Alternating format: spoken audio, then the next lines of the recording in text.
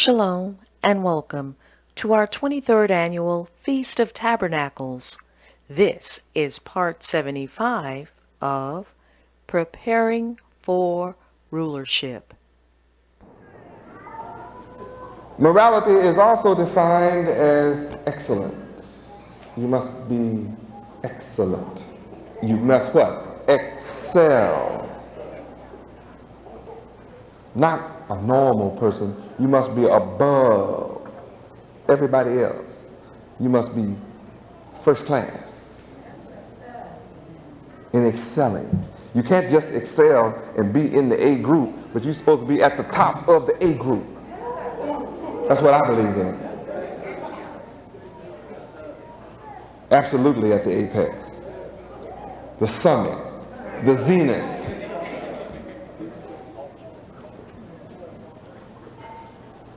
I teach, believe, and know that Yahweh is great, good, terrible, and black. And that has caused some white people to ask me, well, what are you saying? You believe in black supremacy? No, certainly don't. I don't believe that any man is better because his skin is black. I've seen some of the, in fact, all the trouble I ever had come out from here has been black folk. Look around, you'll see white folk in here. So, so something bad go out from here, it had to come from someone who looked like us. I've always taught you from the beginning that the devil, Lucifer, is what color? Black. The first devil was black. So anyone who teaches you that the white man is the devil and leave it at that is playing the skin color game. And anybody who teaches you to believe in black supremacy, that that's the answer, that too is the skin color game. You are not supreme because your skin is black. So I don't believe in black supremacy. Conversely, you must understand implicitly within my statement is neither do I believe in white supremacy. Then do you believe in Yahweh in Yahweh? I believe in supremacy. that man must be supreme just like God.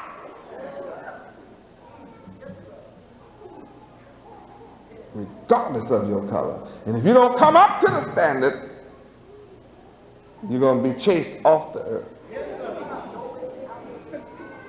Just keep living and watching, and you'll find out that the righteous are going to inherit the earth.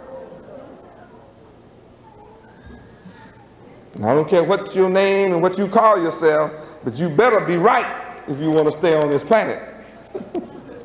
Because that's the only folk going to be left on it. I'm telling you now. And I don't care what language you speak. You can speak anything you want to speak, but you better learn how to speak right. Righteous better be in your vocabulary somewhere.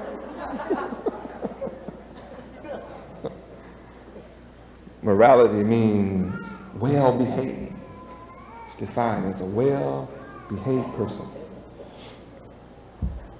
Anyone who is ill behaved is immoral. Morality is also defined as a person practicing right conduct. cannot act any way you want to. You cannot do your thing unless your thing is right. Not if you want to be approved by the Creator and survive, Yahweh calling for right conduct. Morality is also defined as principles, righteous, moral principles. A man without principles is a wicked man. Facetious, devious, deviant, lying, cunning, deceiver degenerate, wicked, bad, depraved, demented.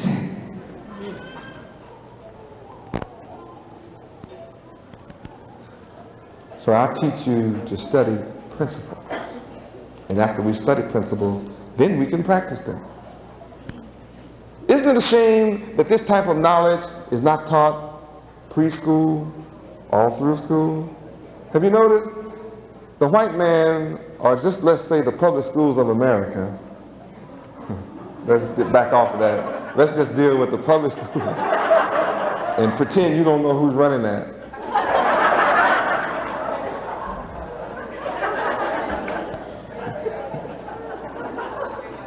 Notice they don't want the Bible in school. And the pretense is they don't want one religion over another one.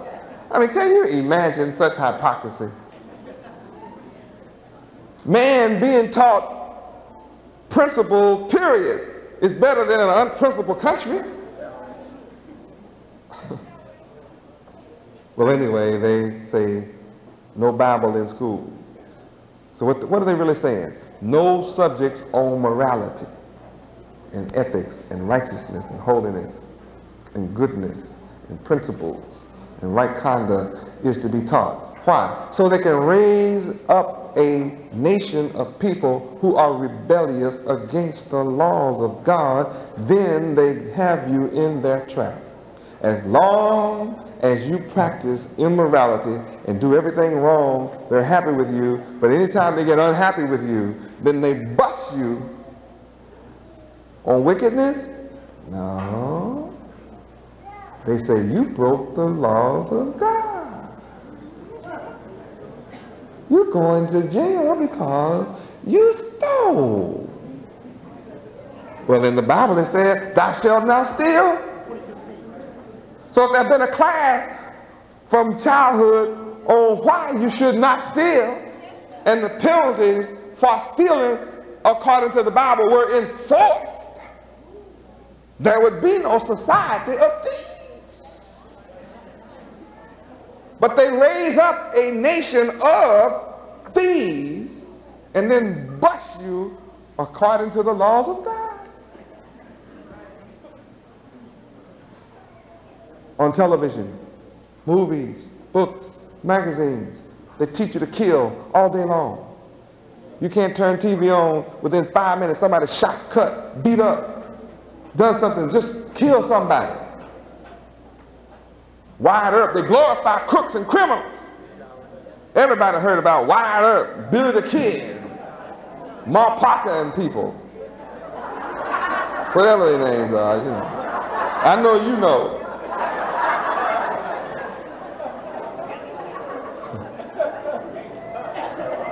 Gangsters, Mahone, uh, what's his, what was his name? Al Capone.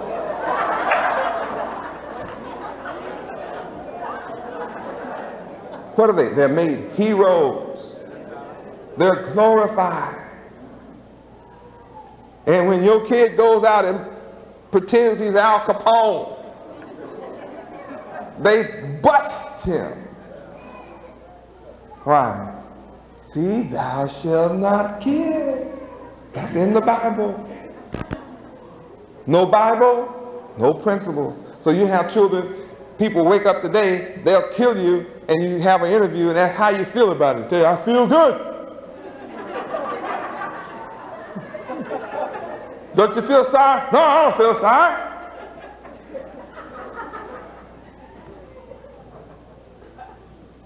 No principles taught, no morality taught. Everything that America busts you for is in the Bible telling you, don't do that. Now how many, then they get rich, stupid rich from representing you breaking the laws of God. Well, what a system. It's called the criminal justice system. And that's correct. The only ones get justice are the criminals.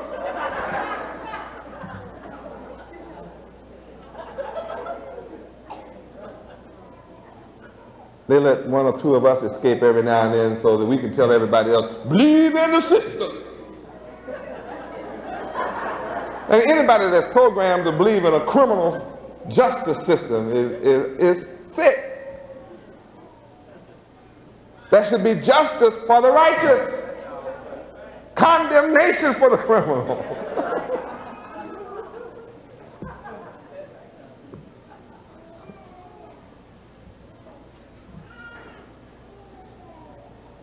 I'm the only man teaching straight morality.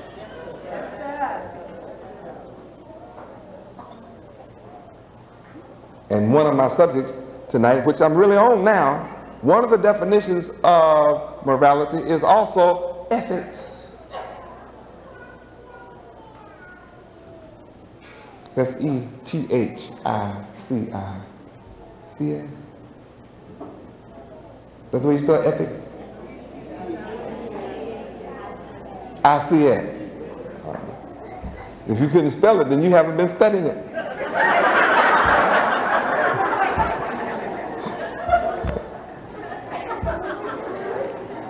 so you sit out there and say, uh-huh, then I know you haven't been studying.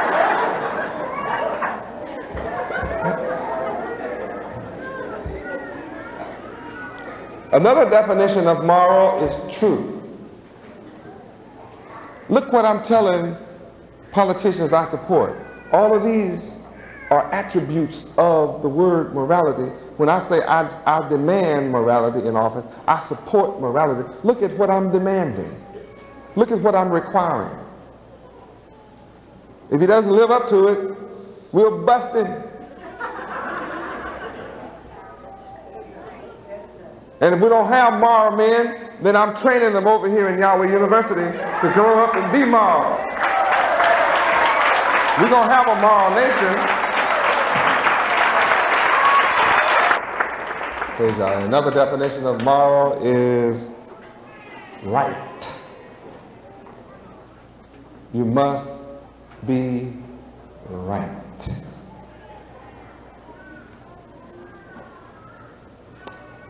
Another definition of morals is rules. You must follow the rules of God, Yahweh. Found right in the Bible.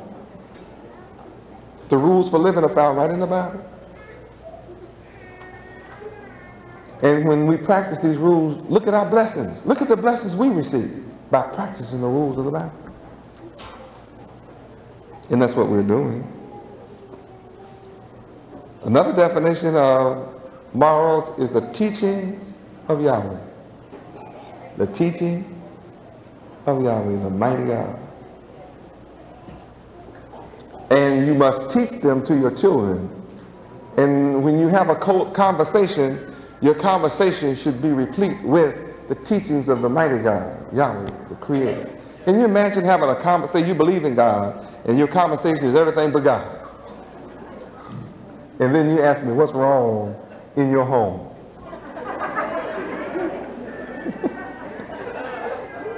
Look what's missing.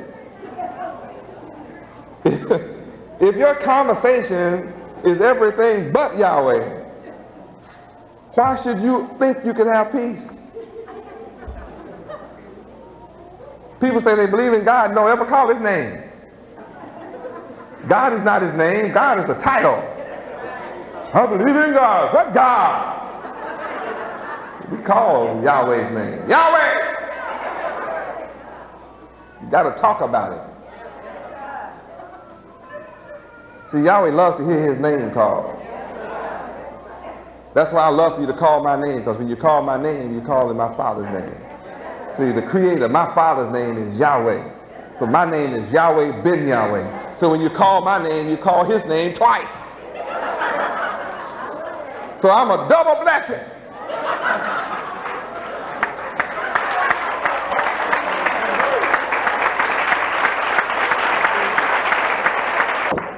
Hallelujah, Yahweh.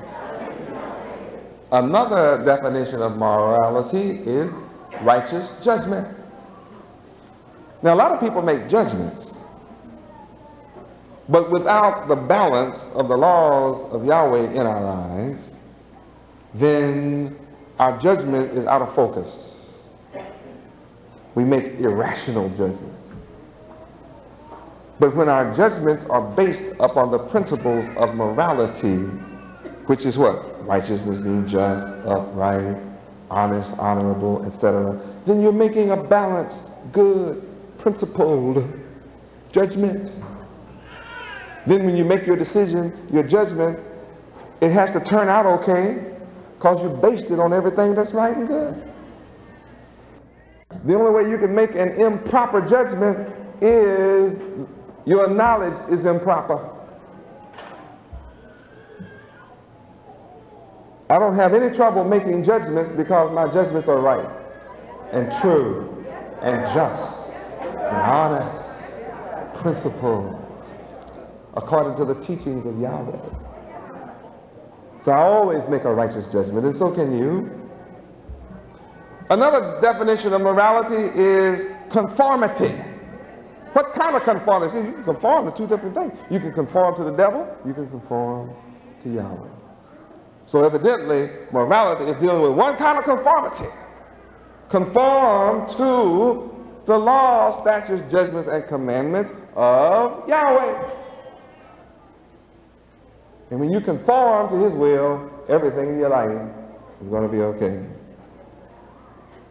I have proven that if you keep doing good, though the world talk against you, you'll still come out on top.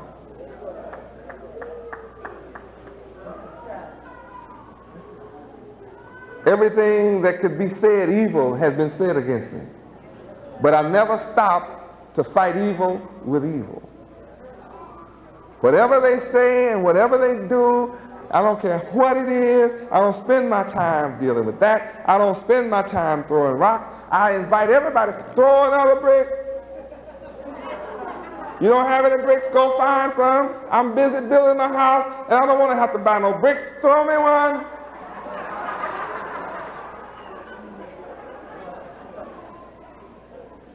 I keep doing good.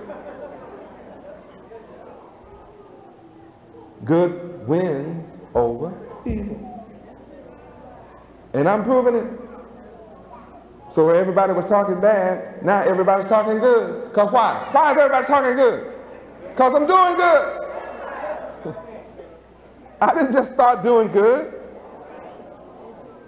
I've always done good from day one. I've always been good to people been good by people. I've always helped those that come around me.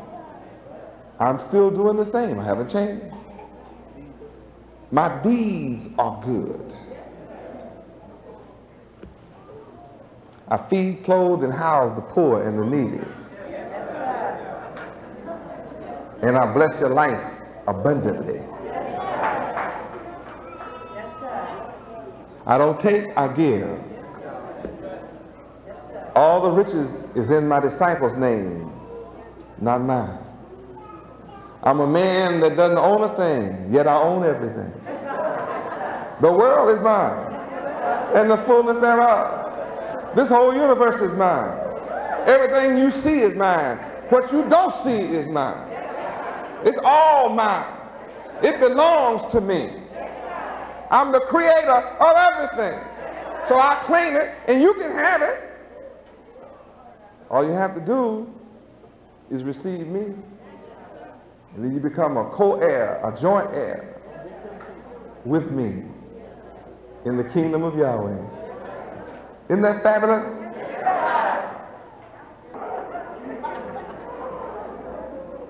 Now it's all about conforming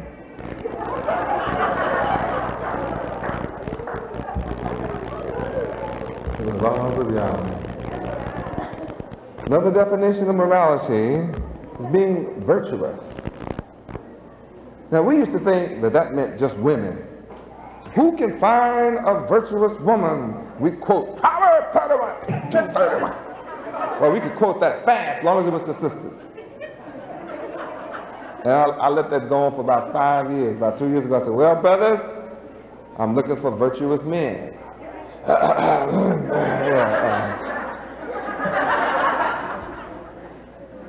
By definition, we must be a virtuous people. Another definition of morality is chaste. We must be chaste. That does not apply to women only, men and women. Morality applies to both sexes equally. Another definition of morality is righteous action. Your actions must be in conformity to the will and the laws of Yahweh. Another definition of Yahweh, I mean of morality, is divine mind. Your mind must become divine. My mind is divine. So when you come and learn from my mind and of my mind, then you're taking on divine mentality.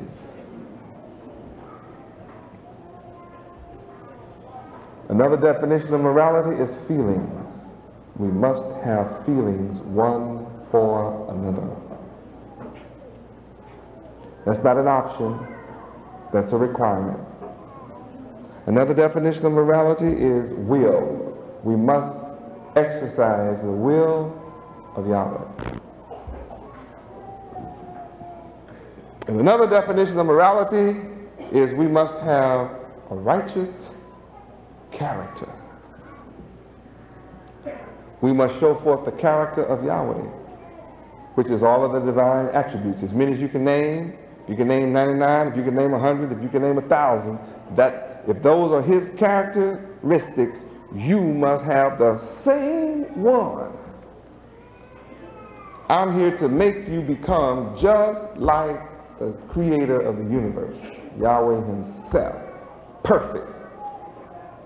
And anyone who says you can't be perfect is a liar and wants you to not have a goal to reach for. See, if you don't believe that you have to be perfect, then you'll never strive for perfection. You just as well drop that as an attribute of God. Perfection is one of his attributes. That's one of my attributes. I am perfect. I am perfect. I may not always be right, but I'm never wrong.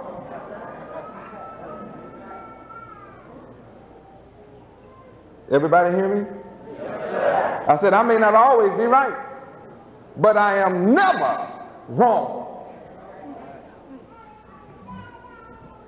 Now that should leave somebody mystified. Anybody mystified by that quality of mine? That's my quality. If it seems diametrically opposed to itself, that's because you don't understand.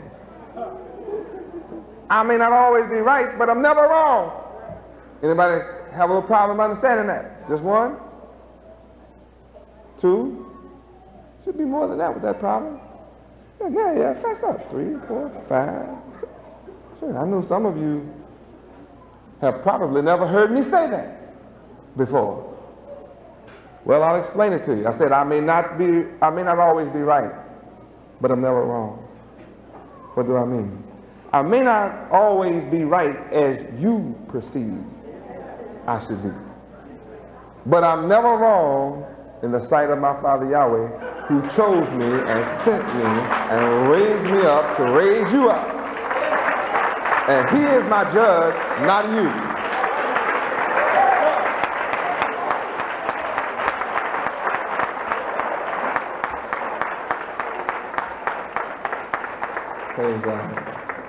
So if you think I'm wrong, that's because you have set yourself up to be judged. And the word says, judge not, judge me not, lest you be judged by that which you try to judge. You must first get that little mote out of your own eye. And some of you don't have a mote, some of you have a log in your eye, trying to judge somebody else. You have to get those logs and splinters and boards out your eye first. Because you're under terrible pain with things in your eyes. Trying to judge people. Your judgment will be wrong. Glory to Yahweh. And last, it's not the last one, but it's the last one I'm going to teach on. Morality defined as nature. Nature is one of the definitions of morality. What nature? What kind of nature? The nature of the Creator, Yahweh. To be moral, you must have the nature of the Creator, Yahweh. His nature is right, holy, pure, perfect, good. You must have these same attributes. These attributes are not something you read about. You must live this, and you must study this. This must become your subjects. So tonight I have reviewed definitions of morality which include definitions of ethics. And I hope you enjoyed that refresher.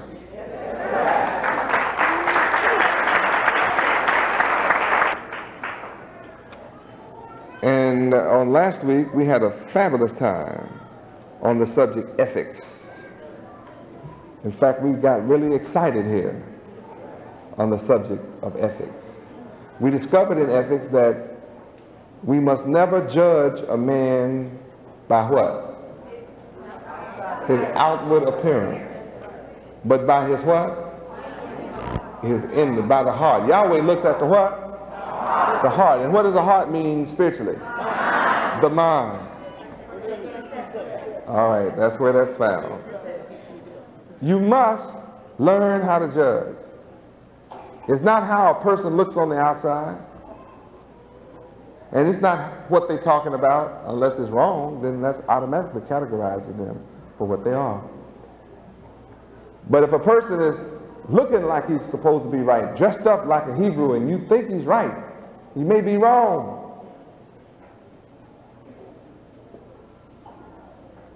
So don't judge by how they look. Judge by what comes out their lips. Because what comes out their lips verifies what's in their mind. And if your mind is right, what comes out your lips will be right. Praise Yahweh. This concludes part 75 of Preparing for Rulership.